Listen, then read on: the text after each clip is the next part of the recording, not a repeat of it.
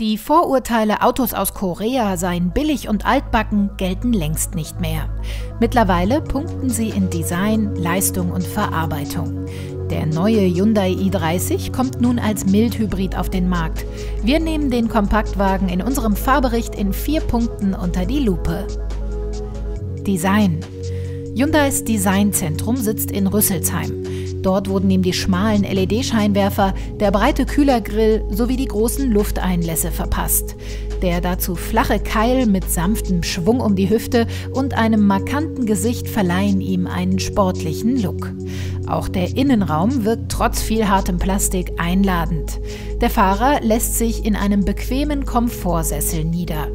Großzügige Glasflächen sorgen für gute Rundumsicht. Die Heckscheibe dürfte allerdings etwas größer sein. Platzangebot. Für Fahrer mit langen Beinen ist vorne genügend Platz. Auch auf der Rückbank stoßen großgewachsene Mitfahrer nicht mit dem Kopf an die Decke. Der Kofferraum bietet eine überdurchschnittliche Ladefläche.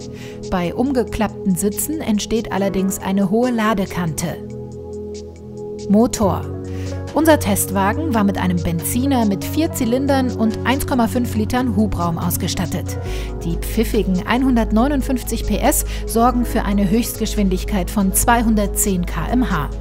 Die Batterie ist nur 0,44 Kilowattstunden groß.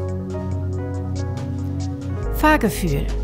Die weich gedämpfte, aber straffe Federung sorgt für viel Komfort, auch auf langen Strecken.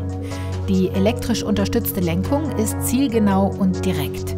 Mit dem i30 ist man spritzig, aber gelassen unterwegs. Fazit. Der Hyundai i30 ist ein komfortables, gut ausgestattetes Auto, das keineswegs billig ist, dafür jedoch preiswert.